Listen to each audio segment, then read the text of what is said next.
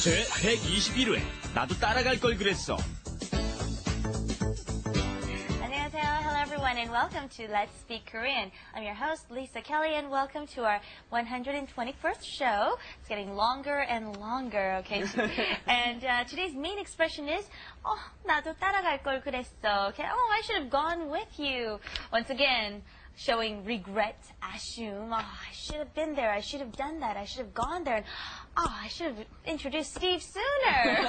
oh, Steve. Hi, Lisa. Hi. 안녕하세요. I'm Stephen Revere. You know, when they handed us the script, I looked at it and went, "Oh my God!" I think I think they thought this was pretty easy. The Korean people who wrote this out for it, they all seem like easy expressions to Koreans, but actually we've got a lot to explain to you guys in a short period of time. So we'll move on to our next introductions. 안녕하세요, 네오미입니다. 안녕하십니까, 컬린입니다. Right. And right before the program, me and Naomi went to one of the very big uh, uh, 백화점s, I'm not going to say the name, right across the street from here. And we had a really good time. We had some coffee, some bagels, sh- lots of shopping.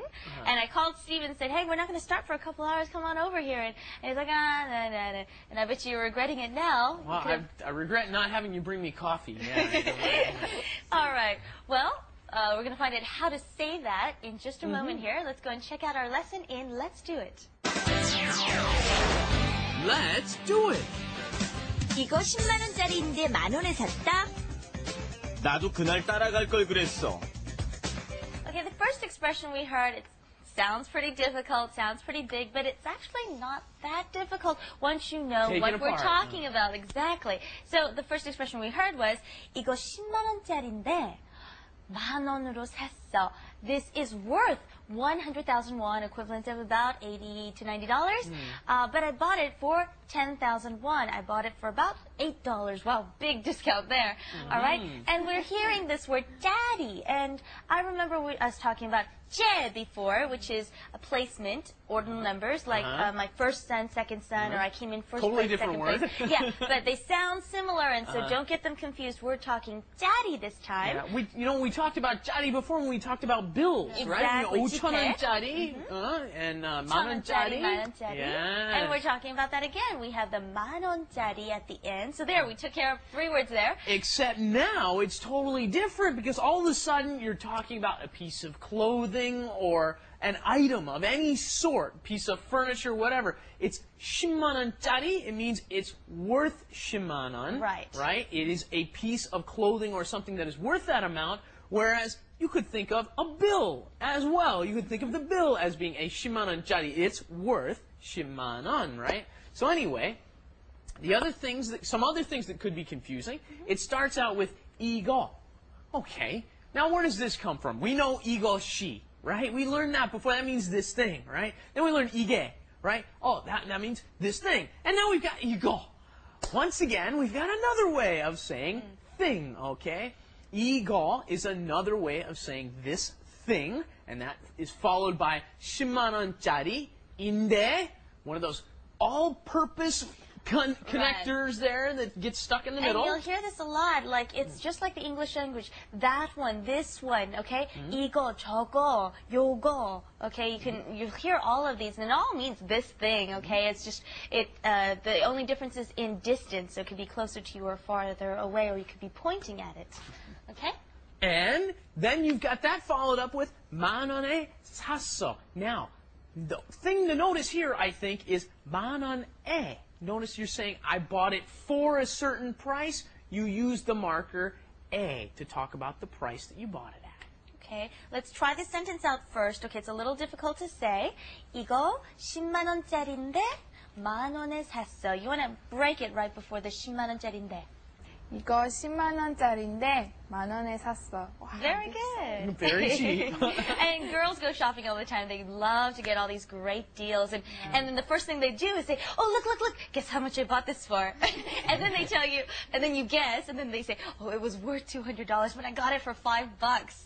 So this comes in pretty handy. Let's try something else. I'll give you a 나도 different... 그래. Oh, you do? Really? 나도 그래. 어. okay, we'll try something else. Um, 이거 20만 원짜리인데, that's 200,000 won. 어, 5만 원에 샀어. Okay, I bought it for 50,000. Naomi, one more time. 어, 이거 20만 원짜리인데 5만 원에 샀어. Okay. 나도 그날 따라갈 걸 그랬어. I should have followed you that day. Right? Yes. 나도, of course, is me too. I also. And then 그날, that day, Taragada. Whoa. now, You've, heard, you know gada. You've heard gada before. Tara. Now, sometimes, those of you who are taking Korean classes, you will hear your teacher often say, Tara haseo. Tara haseo. Repeat after me, right? Notice, Tara has a repeat meaning to it. Also, you will hear taragada, right? That is, follow somebody somewhere. So, I wish I had followed you. Notice the sentence ending there. Exactly. It's really difficult for foreigners to use this and get uh, getting used to using this. 걸 그랬어, showing 후회 or assume, regret. Okay. 나도 따라갈 걸 그랬어. I should have followed you, Stephen. Yes, and it is a challenging thing just to say. Uh, Repeat after me. 그랬어. 그랬어. 갈 걸 그랬어. 가을 거 그랬어. Good job, yeah. Okay. It's kind of difficult because you've got those same consonants in there, but all of a sudden the vowel in the middle kind of switched, didn't it? 갈, 걸 그랬어, yeah. So it's a little bit challenging to repeat. And what are you expressing? You're expressing, oh, I should have done that. We've had this in a couple of different ways. Here's a new one for you. 갈 걸 그랬어. Yeah. Right. Should have Here gone. we had I should have followed you there. 따라갈 걸 그랬어. Okay, I should have followed you there. With some other uh, sentences that we can use this in, I'll give you an example. Okay. I always say this. I catch cabs all the time, and then it took an hour and a half to get there. So I'm always saying, "Oh, you, I should have caught the subway." 지하철을 탈 걸 그랬어. I should have ridden the subway. Naomi, try that. 지하철을 탈 걸 그랬어. Okay. Do you want to try that? 지하철 탈 거 그랬어. Okay, we can say 지하철 탈 걸 그랬어, but we want to be careful. We want to add the 을 there. 지하철을 탈 걸 그랬어. Should have ridden the subway. Yeah. Yeah, I say that a lot. Sometimes I get in that taxi and get, then get stuck in traffic. Ah, I should have ridden the subway. Okay, well, let's uh, go on to our flash animation. Let's go check out what we learned today. Here's Wrap Wrap It it Up up. Wrap it up. with Lisa. And Steven. 리사, 어디가? 미팅하러 가. 정말이야? 나도 따라가도 돼? 어떻게 하지? 말을 안 할 걸 그랬어. 너도 따라와.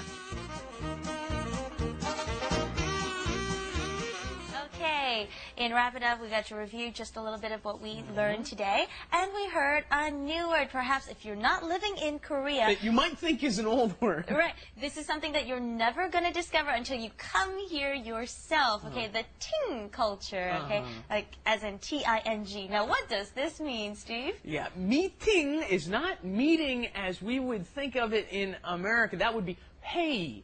Hey is what, what the Koreans use for meeting, a normal meeting, what business meeting, meetings function like that.